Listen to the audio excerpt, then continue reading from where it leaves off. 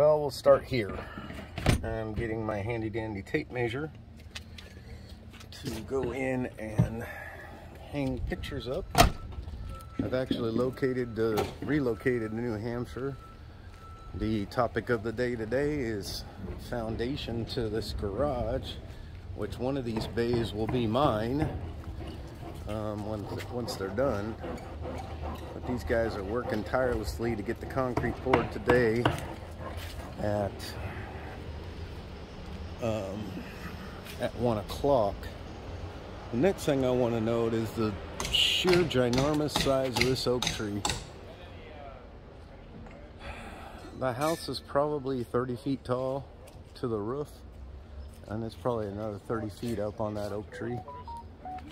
Just absolutely fascinating how big this tree is. It's an old growth tree, and they manipulate the landscape around the tree to keep the tree there.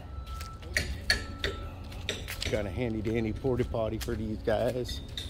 Um, but I mean, you can see the base of this tree. It's just ginormous. I'm fascinated at this tree. It is so old and so big. So right behind me I have a church that plays its church bells three times a day. I really quite enjoy that. Some of these houses are a lot older. I mean all these houses were built in 1800s so or close to the 1900s. Love this place. Um, even though I'm downtown and people are a little bit weird, kind of like Seattle. Uh, in the downtown region. This is going up my stairs to the back. And the stairs are super steep because they were built in 1800s. Um, probably been repurposed quite a few times. Walk in, I got nice clean, nice clean little setup here. I've kind of got all moved in. I hurt because I've uh, moved everything in. This actually goes out to the front, uh, but I'm just locking it up and using it as storage because the back door is just fine. I'm getting all my stuff situated, dates and times, and I'm gonna get that hung up. That's why I had to go get the tape measure. And then out front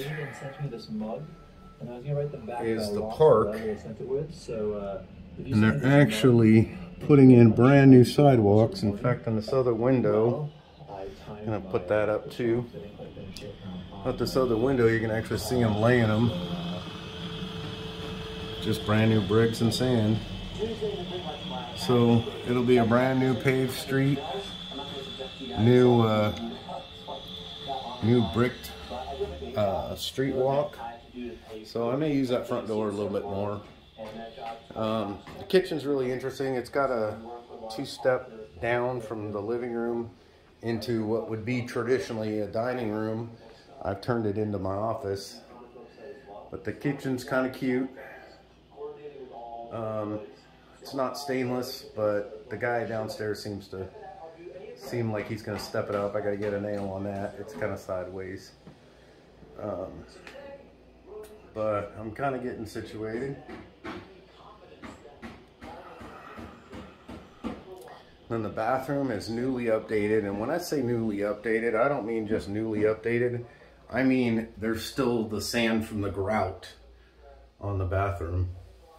So, um,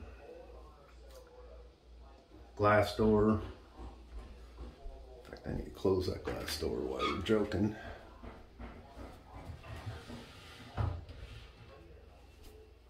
So completely clean, new, brand new bathroom in an 1860 house. I'm st still getting situated, bear with me. And then this is gonna be my ironing slash storage room because he put washers and dryers in here. And I mean, when he put washers and dryers in, he did, he redid the, redid the floors around it. I mean, absolutely immaculate job. But right now, it's just kind of a, a throw place for me. And then you look out the back, and that's, that's where the garages will be. I imagine I probably will lose a little bit of the view, but um, one of those bays, one of those three bays is mine. So, yeah. Anyways, um, just wanted to show you guys the place and see how the ceiling is. This is one of the things that attracted me. It's got an opening uh, skylight up on top. And then we got Brent with Cerro Gordo playing. So